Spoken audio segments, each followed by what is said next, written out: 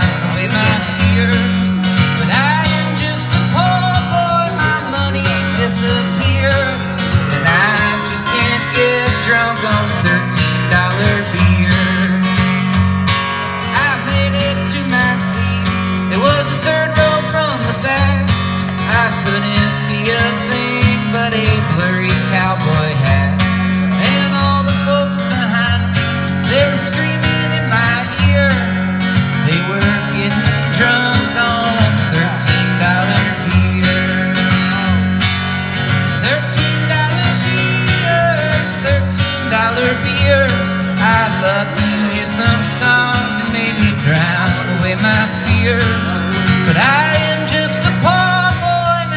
can't see your near and I asked to can get drunk on thirteen dollar beers. So I left after a song.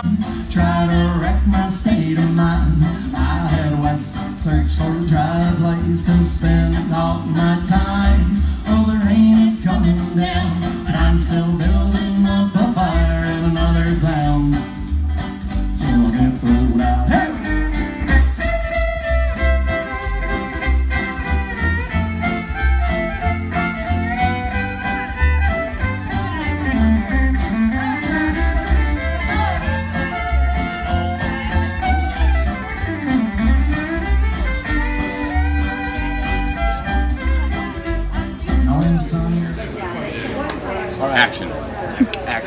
right, so I just I have Jon Griffin here. He is uh, I mean I would say you're a well-known artist right here, right? I try. You tried. I tried. I mean he made basically all the artwork for this festival. I know you have multiple festivals you, that you uh, Do about a dozen festivals a year. Really? at least. Yeah. That I, well, I go to a dozen festivals a year, but I do artwork for probably 15 to 20 festivals a year.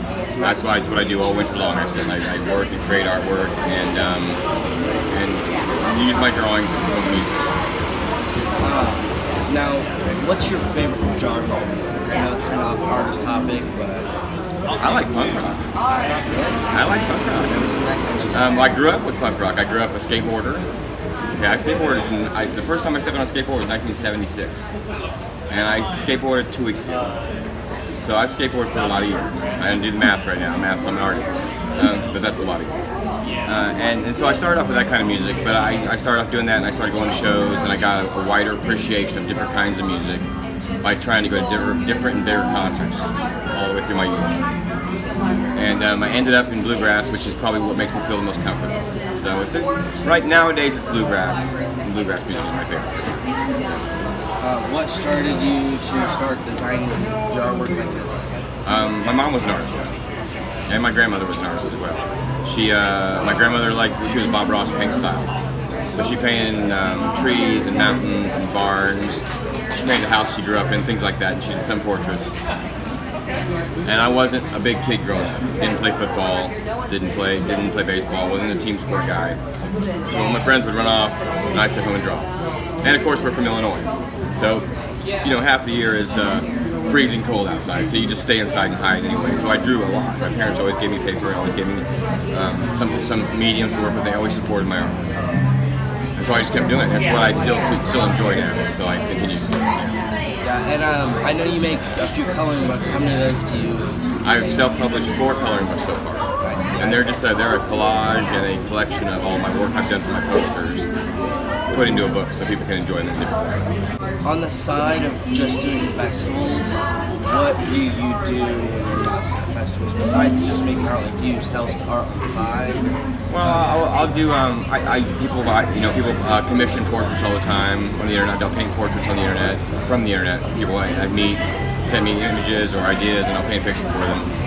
Um, I do logo design. I do. Um, but otherwise, for fun, I you know I play video games. Things like any regular kid. Listen to music. I enjoy my friends. Time with my friends, of course. Um, I, I love to be outside. I love I love this kind of environment. So I, tend to be here as much as I possibly can. You know. How long do you think you've been making? Officially, I've been selling my artwork for about eight years. But I have been drawing. I remember in like fourth grade copying pictures of Garfield the cat and logos from video games I like. And so as long as I've been able to be drawing or have paper in front of me, I've been drawing.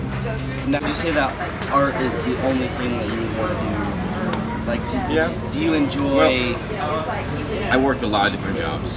You know, coming up since I was since I was 15, I worked everything from pizza delivery to ice skating to concession stand to construction to I worked at a bead store. I worked at a pottery shop. I worked at a screen printing place. I worked at a lot. I worked a lot of jobs for a lot of other people, and I've always enjoyed that. I was always I've always been a hard worker. But when I finally got the opportunity, when I was about 40 years old, 40, about 41, 42 years old, I got the opportunity to take off and just do art further. And so for the last three and a half years, it's just been the art that people ask me for, the art that I want to do. And luckily, I've been, I'm not starving. I have enough people that support me, that want the art, that, that I, I can, it's my job. You know, so I don't have to clock in the job anymore. I did that for 30 years, and now I now I, I get to work for myself. Yeah, which I really do enjoy. It. Have you ever had? Okay, and this is a random question, kind of on topic. Have you ever just had someone come up to you and say, "Hey, I want this to be a tattoo"? Oh sure, sure. Oh yeah. I, I, well, I even had a drawing. You see, you're the drawing with the pocket knife and the blades. Your dad probably has one. Um, uh, my buddy's a mandolin player, and he showed up at practice one night, and he's playing his mandolin, and right here on his arm is my drawing. So they have taken my. I don't do tattooing, but they, they have taken my art and put making it into tattoos. And I, I let the anybody who really wants to do that or has an interest or, or want for that, I ought to support them. You know, as long as they have a good tattoo artist, you know, it's going to come out nice. Um, No, right. do you have anything to say about the Hartford Memorial Festival? Anything about it? amazing.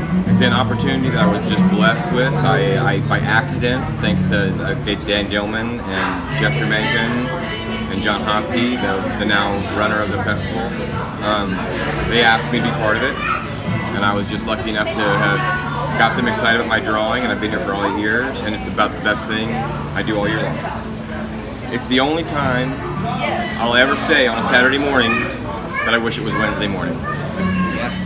Right? Yeah. As I sat there in bed this morning, and all I could think about is I wish it was Wednesday. Now, Not Saturday. would you like to plug in your information, social media, where they can buy your artwork? Well, uh, it's just Jon, just Jon Griffin Art with no H, J O N Griffin Art. If you ever forget, it's written on all the paintings. Um, Jon Griffin Art on Facebook and Instagram, and I, my email is jiveafro at Yahoo. That's a long story. I'll tell it another time. Okay, it was an old band I was in. A bunch of friends we were in high school. But anyway, um, no, I'm just lucky to get to do what I do. My, the bottom, the bottom line is be part of the festival scene, be part of this this event. Um, even when baby's crying and the wind blowing, the rain falling down, I've made more friends at this festival I think I made my whole the rest of my life. But you know, your your dad, just speaking out of context, your dad and his crew have been some of the greatest people. And they're, I made 12 new friends when I met those guys. Me and Chad started talking. Next thing you know, I got 12 new friends. And then we all come out here, and all of our friends come out here. And the the best thing about the John Hartford Festival is the people. I mean, the music's amazing, that, hands down. The picking is wonderful. The after parties is amazing. Um, but the people that you meet that come to this festival, that try really hard to be here, are very dedicated folks. And and that really shines on me because when a lot of times when you're at the Walmart or at the grocery store, you don't see all those people at once ever. Okay, we come to the festival and we all come to the same place. Mom said they, they were good last night. Mama said string band. Um, but so that I get a lot out of that. There's, there's a lot of value to that. And if you, and anytime in life, whenever you're feeling like there's no hope, or the people really have lost it, or they don't know, or there's so many people that just don't get it, you can come to a situation like this where there's a couple thousand people who all have the same ideas. And that's originally when I first started going to big concerts. I didn't know there were that many people that liked the kind of music I liked, or I didn't know there were that many people that liked the things I liked. And all of a sudden, I started to see there's a real community for the things that I really enjoy. And so I center myself in these places, and I spend most of my summer doing this kind of stuff. I'll go next week to Hannibal, Missouri, and then after that I have a big party at my house, and after that we're going to Syracuse, New York, and then we'll travel. We might go. We're going to Kentucky in October, and we're just going to travel around and do as many art shows as we can. Um, sometimes I'll even paint live in front of people. If it's not too hot, I'll do it. It's kind of hard to do when it's super hot because the paint doesn't react very well. But the idea is um, I hope to be able to perpetuate this and go on for a long time doing this. Meet more, meet more friends and do more things, and I appreciate today. Yeah. Do you have any tips for anyone on how to start trying to become an artist? How to, I mean, I don't know. Don't throw anything away. And if every time when you when you started drawing, and you um, when you started drawing and um, you don't like it, keep drawing. Keep drawing. Don't throw it away. The worst thing I ever did growing up was draw stuff I didn't like and throw it away. It's gone. And then as I got older, I found that every drawing I do, every project, every painting I do, starts off with a period of frustration and unhappiness.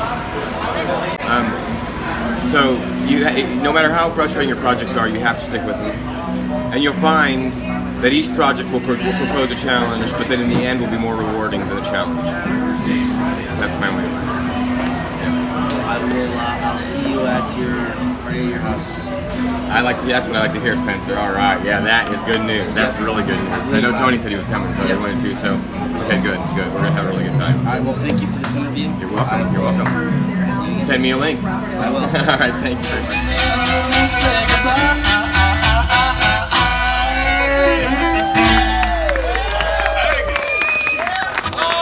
Hartford Memorial Festival, you guys are awesome, man. I hope y'all are having fun. Thank God the rain stayed away. Man, I'm having a good time right now. I hope y'all are. Cheers, y'all. All right. So I grew up in East Tennessee. I grew up in Chattanooga, and uh, in the Smoky Mountains out there around this time of year, there's a phenomenon that happens. It's called the synchronized fireflies, and what it is is firefly mating season. All the fireflies go out in the in the Smoky Mountains there, and they all blink at the same time, and they do it in the sky. It's pretty cool. It's cool enough. All the Yankees come down and look at them. It's weird. They say it's good for tourism. I don't know, but I thought about writing a song about it, so let's do it. Tennessee Moon.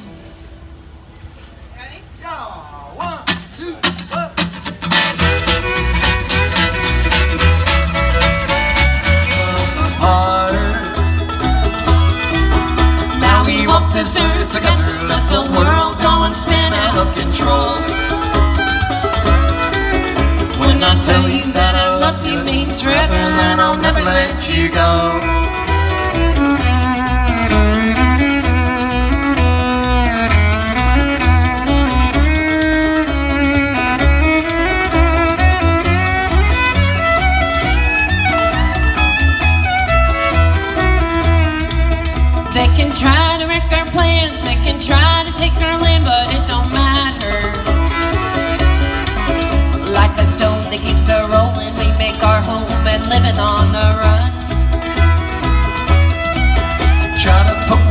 my song. Your opinion's right or wrong, it's just chatter. By your past to something open questions is how we have our fun. Now we walk this earth together, let the world go and spin out of control.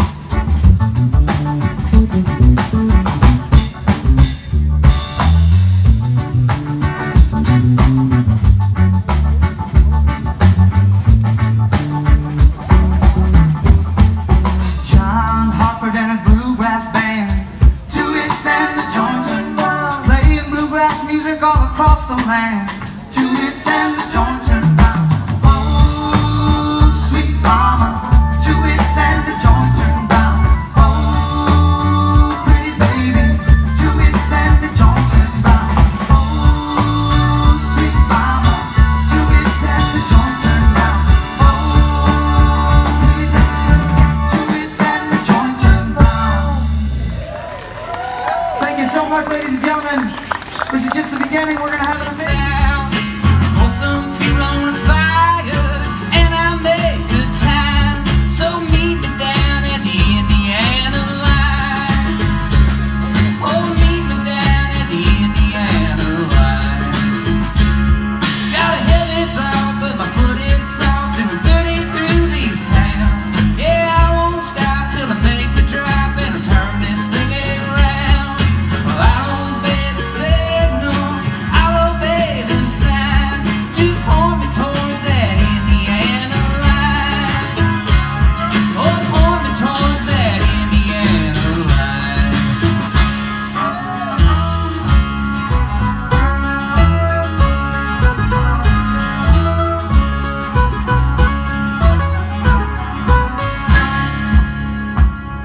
It's a make break to the universe, no way I could get caught with a stack of bills.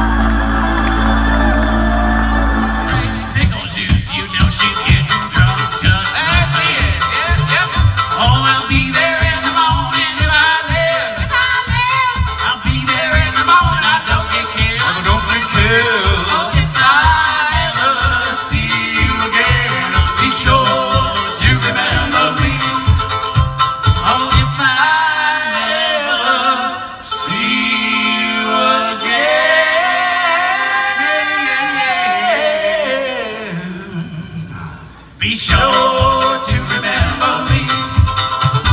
Remember me.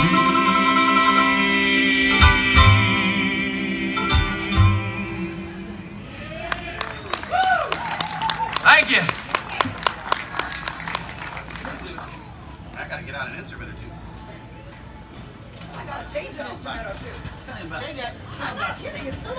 This next song we wrote when we were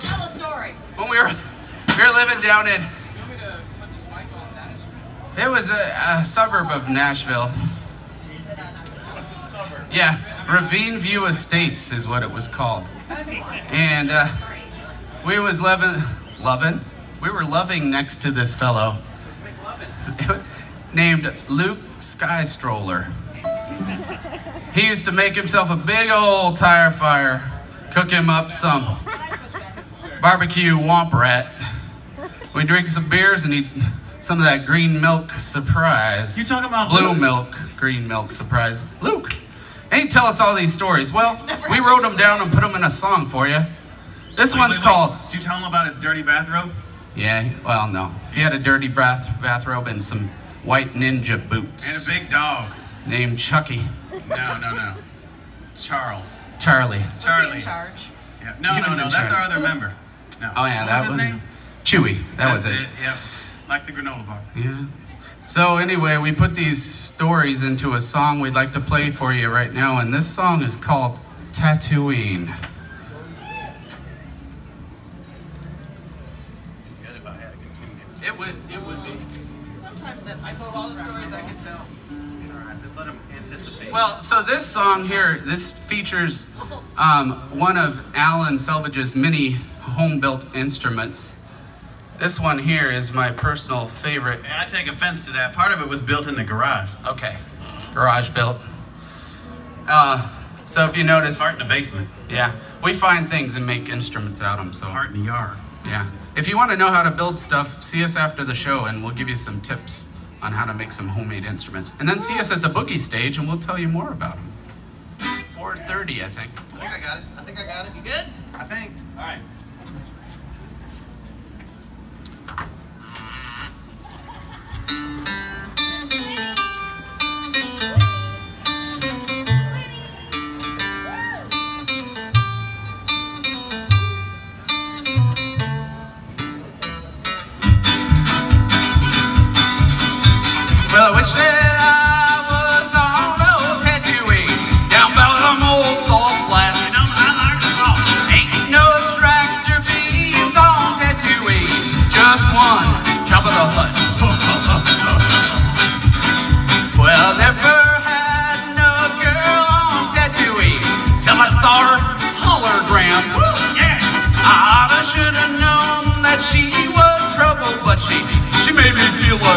such a